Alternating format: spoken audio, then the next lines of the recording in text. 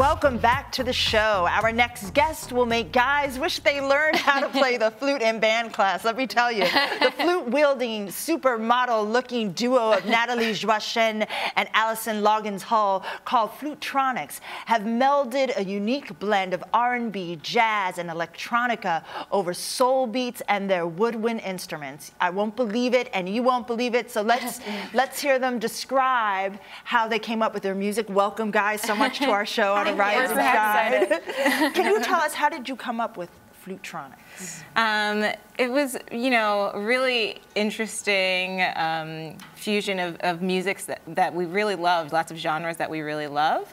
Um, and just the name itself was, um, you know, we wanted it to be clear to people that we were flutists, but we were also working with electronics and um, bringing in different styles of music. So, How did you guys meet to form this? Like, what introduced, how did you meet one Well, another? Yeah. it's, it's kind of funny that we hadn't already known each other because we both grew up in the tri-state area. We both have been playing the flute since we were very young, and it's kind of a small world. Like all- Right. all flute players kind of know each other, um, but we didn't know each other. And at the time, we were both experimenting with composing, and um, MySpace was really big. This was probably six years ago, and we both had artist pages. Um, so she had stumbled across my music, and she was like, "Oh, another another flute player who's Right. kind of experimenting with other genres and doing interesting things." And she reached out to me, and it was very serendipitous because it turned out we lived in the same neighborhood. Wow. Yeah. We have Amazing. like, mutual friends, Right. um, very parallel experiences. So it was very organic coming together. Well, you know, Yeah. we're we love female duos, so you, two, you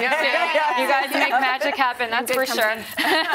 well, so I know you guys sometimes get tired of people trying to classify exactly what your genre is. You have so many different influences, so you guys have decided to call it urban art pop. Can you explain that? Um, yeah, I mean, our music is urban in that you know it has influences from hip hop and R&B.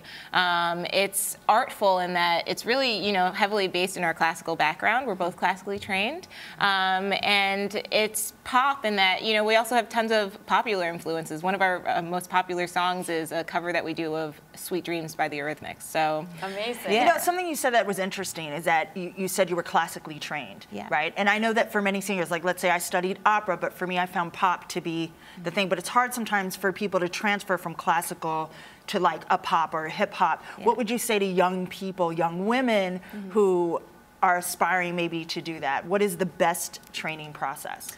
Um, really, I think just listening to as much music as possible and as many different influences as you can.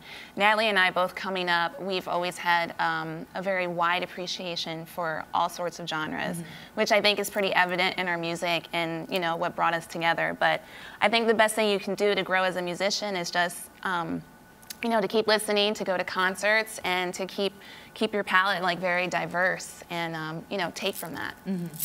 So you guys um, both look so young and beautiful, but I know that you've been both been playing flute for what 20 years. Yeah. What attracted you to specifically the flute? We have different stories. Um, uh, mine, well, when I was little, um, I, I grew up with a lot of music in the house, and the most influential player I heard was Hubert Laws growing up, um, who's a jazz flutist, and he's also classically trained and has also done other things besides jazz Right. and classical music. Um, but I just really fell in love with his sound and his tone, and it just really spoke to me. And I don't know, just when I heard it, I, I just knew I kind of really wanted to pick it up and Follow that Yeah. destiny.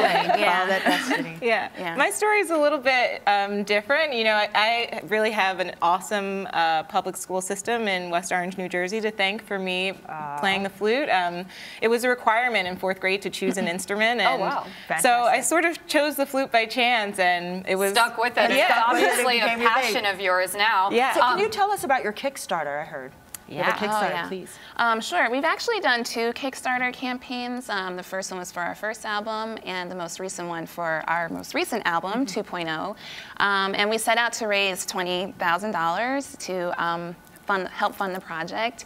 And um, it was a very, um, very, I, I guess you could say, well, it was challenging, but it was a really emotional and humbling experience as well because we couldn't believe the amount of support and fans that we had from all over the country, all over the globe, and um, even people who could only like contribute five dollars. You know, it Right. was just amazing the number of people who wanted to make this project happen. So for us, it was just incredibly humbling, and we did it around the holidays, so it was just like That's super amazing. joyous. and Yeah. It was a lot of work. Um, she was in Japan at the time, so we were kind of like working 24/7. Yeah. I'd be asleep, she'd be, you know, awake, and That works out um, well. Yeah, so it worked out. But I it think was so. just like- here? Yeah, the moment we've all been waiting, waiting for. for. Let's, um, Yeah. if you guys can step over to our performing area.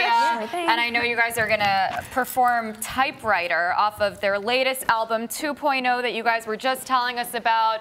So much support from all over the world in your Kickstarter campaign for this. We're so excited to hear you guys. So whenever you're ready. Flutronix.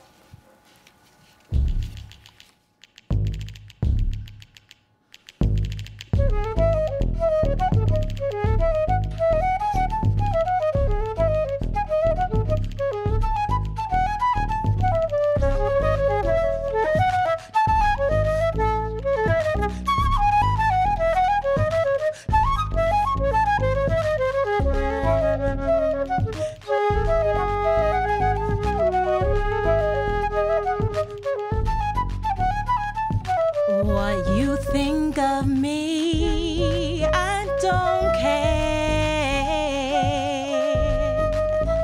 And what you want me to be, well, I won't dare. No, cause you look at me, I know you do. And what you see is not from me, it's from you. Cause you typewrite me. Yes, you typewrite me.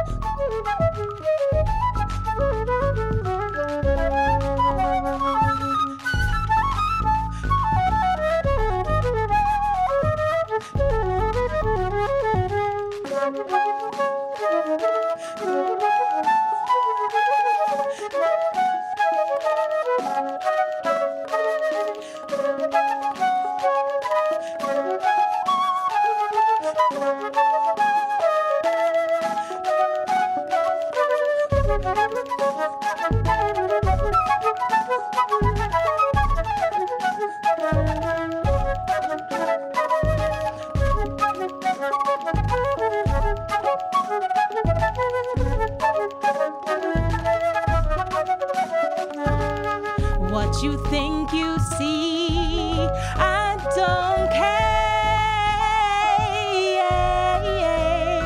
And you want me to agree, but I'm not scared. No, cause you look at me, I know you do. And what you see will not ever be true. So don't typewrite me. Don't you typewrite me. No.